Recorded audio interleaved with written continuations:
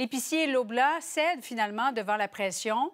Alors, le géant canadien a fini par accepter d'adhérer au code de conduite des épiciers. Marc-Antoine, ça survient donc six mois après. En fait, ça survient après six mois de négociations.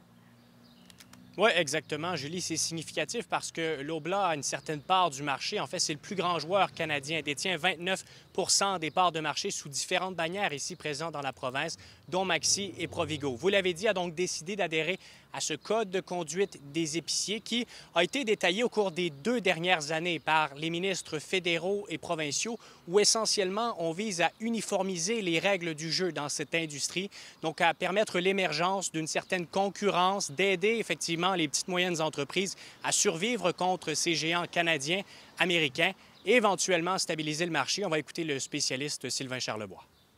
Ce qu'on veut aujourd'hui, surtout comme consommateur, c'est plus de compétition pour abaisser des prix un petit peu. Donc, c'est pour ça que le code de conduite va discipliner vraiment les grands joueurs de la distribution, notamment Loblaws et Walmart.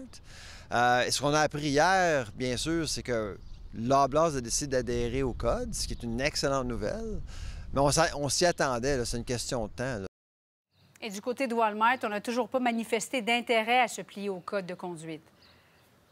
Non, d'ailleurs, l'entreprise a réagi aujourd'hui d'y avoir reçu la dernière ébauche en train d'examiner et déterminer les prochaines étapes pour le géant américain. Le ministre de l'Alimentation au Québec lui se dit confiant. On va l'écouter. Bien, écoutez, moi, je suis confiant qu'à terme, tous les joueurs vont, joindre le code parce qu'ultimement, euh, il en va de leur crédibilité au sein de toute la chaîne. Euh, il en va du niveau de confiance aussi, ultimement, des consommateurs envers toute la, chaîne d'approvisionnement euh, agroalimentaire.